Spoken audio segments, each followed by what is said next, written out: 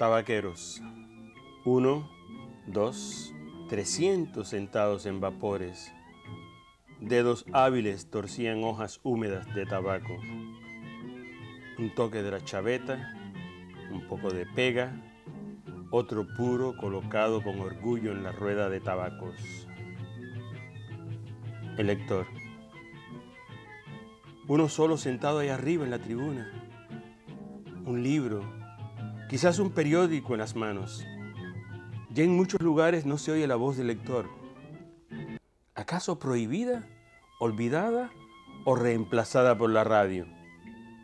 El caso es que en la Cuba de hoy, la lectura de tabaquería es una tradición que se defiende con amor.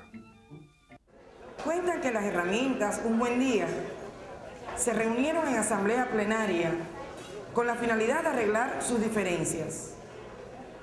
El martillo ejerció la presidencia, pero la asamblea le notificó que tenía que renunciar. Ya llevo 15 años y no me aburro. Dicen que tenía un buen repertorio. Canciones de celos. Celos. Malditos celos. Un bolero puede ser. El nuestro es un trabajo eminentemente intelectual, con una misión, mover el pensamiento para tocar los sentimientos. Un trabajo intelectual proletario. Nos gusta mucho la novela de García Márquez, a los trabajadores les gusta mucho la novela de García Márquez. Hemos leído casi todos los libros de Hemingway. Cuando está buena la lectura se le da chavete y ya saben que, que es un signo de aprobación.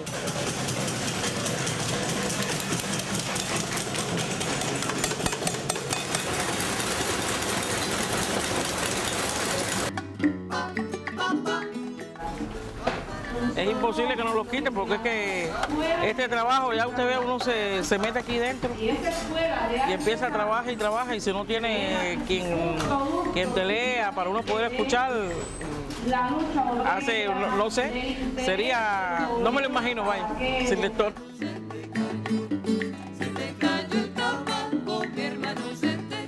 Es la tradición. Sin la lectura no hay tabaquería. Es, imposible. La lectora es la persona más querida de la tabaquería. Se te olvidó